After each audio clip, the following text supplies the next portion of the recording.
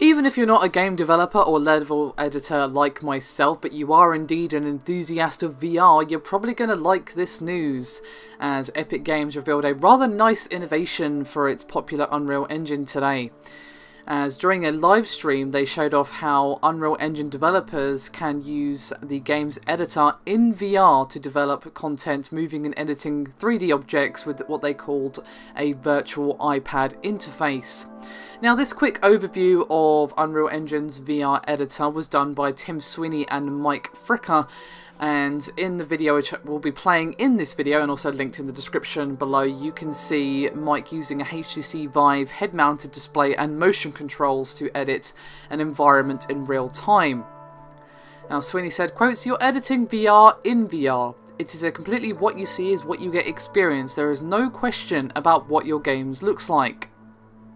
Now, if you want a longer look at the Unreal Engine's VR editor than the little video linked below actually provides, there is another link to Epic Games' replay of their 40 minute live stream, which can be watched in the Twitch archive, which again will be linked below and they're going to be revealing more details about their VR editor at the GDC conference next month. And I've got to say, I'm actually really interested. Now, as I said, I'm not a game developer myself, but my mind tingles at the possibilities and just the ease this would give developers making VR games. You know, for example, if you were developing a game in your usual way, either through coding or some sort of interface or whatever, depending on what program or engine you're using, then you know when you actually plop on the VR headset, you can be like, oh, this is kind of janky because of the X, Y, Z. You know, this could be something that doesn't translate well to VR that you didn't realise because of the inherent problems with how you're developing the game when it's being translated to VR.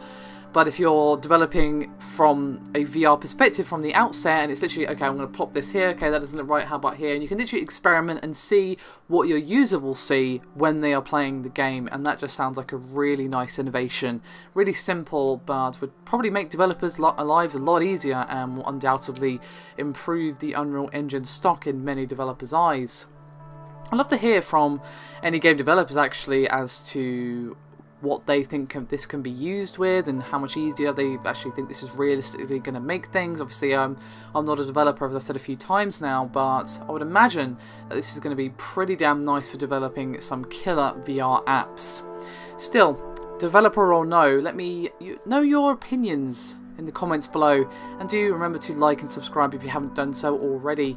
Thank you very much for watching. I'll see you next time.